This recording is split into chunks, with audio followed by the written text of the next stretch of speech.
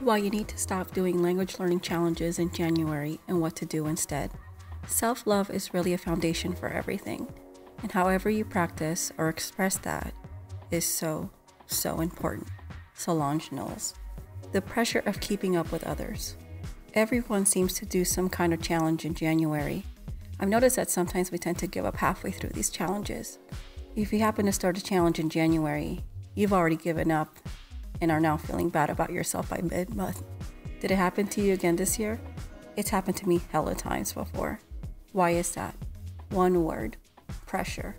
It's the collective pressure to finish a challenge in January, to start the new year on the right foot, but completely forgetting that you had two months of grueling holiday bullshit. Whether you were cooking, wrapping gifts, or making the house smell like a Scandinavian forest, by the end of December, you're burned out. At work, and travel to that, and you're beyond spent.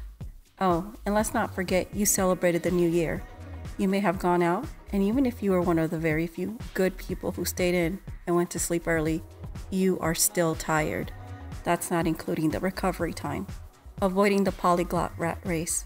And I don't know about you, but something I've noticed about myself is that I've st- had to start about two weeks early to get any momentum for the new year. In the middle of the holiday ker- kerfuffle, no wonder we're all stressed out. Last year, I did a language challenge. I posted the video of me using an app to decide which language I was going to learn to hold myself accountable. Because I was ambitious, I only put difficult languages on this wheel. Facepalm. I had Swedish, Mandarin, Tagalog, and of course, the one that I ended up getting, Persian. I did a 31 day challenge and I drove myself completely nuts. For starters, there aren't a lot of resources for the Persian language. On top of that, I didn't quite understand what it would take to complete a 31 day language challenge with Persian. Had this been a language close to English or any of the other languages that I already know, I, it may have been a little bit easier. But I'm an overachiever and I tend to shoot myself in the foot often because of it. Womp womp. On top of learning this new language, I was also posting my daily progress.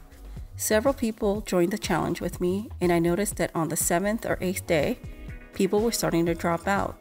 I saw that people weren't opening the emails, and I was receiving emails telling me, hey, I can't do this. This is too hard. This is too much. Only you know what you can and can't handle. Trying to overexert yourself for some vanity metric is not something you need to do now or ever.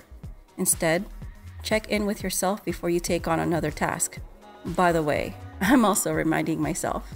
For this, you should check out my blog post Q&A, How do you start learning a language and stay consistent in learning when you feel overwhelmed? Your learning style and why it matters. If you think about it, I was expecting others to learn like me. Nice one, Elizabeth. So I learned two things after my experiment. You can do a language challenge, but you can't tax yourself trying to learn three months worth of stuff in one month. Adding a language learning routine to another new year, new me routine is asking too much of yourself. That's why they say to make it a habit for 30 days and then start add to add more things. So this year, I did go ahead and do the yoga challenge again. I got sick mid-month, and guess what happened? I started to beat myself up. I did that last year too after the 31 day challenge because I didn't think I had retained as much info as I wanted.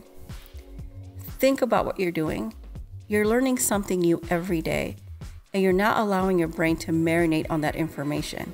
Do you know what I mean? It's like when you read a book, if you're not taking notes or using that information right away, you have wasted your energy. So there are a lot of variables that go into it. And this year, I decided that I wasn't going to put myself through that. I also got rid of my language challenge for that same reason, because I didn't want people to put themselves through that either. It's okay to take a break. The thing is, after the holidays, you need a bit of a break. You have the holiday aftermath to deal with anyway, so why give yourself more tasks? Simplify, man. I figure that from now on, you start the new year whenever the hell you want and however you see it fit. Stop doing what everyone else is doing. You don't have to wait until the new year comes around to start a goal or learn a language. You can do it at any time you like. Take it from me. Don't stress yourself out crushing your life and language goals, and please be more kind to yourself. After all, if you're making yourself miserable, you won't enjoy it and you won't stick to it. Ah, Am I the only one that needs pizza after this?